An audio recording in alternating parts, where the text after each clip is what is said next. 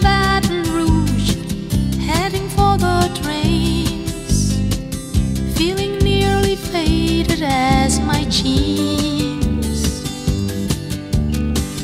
Bobby thumbed the diesel down just before it rained, took us all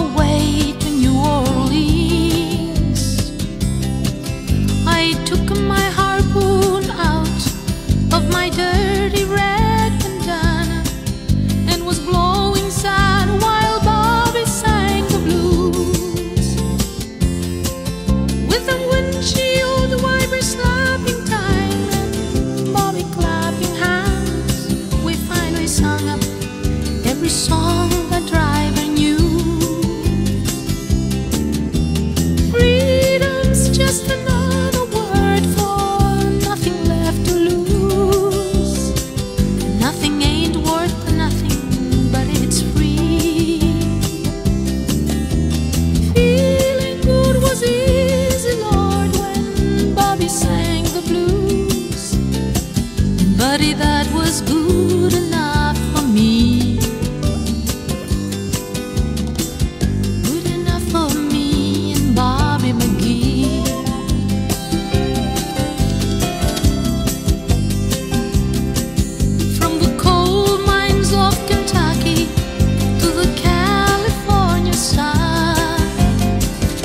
We shared the secrets of my soul.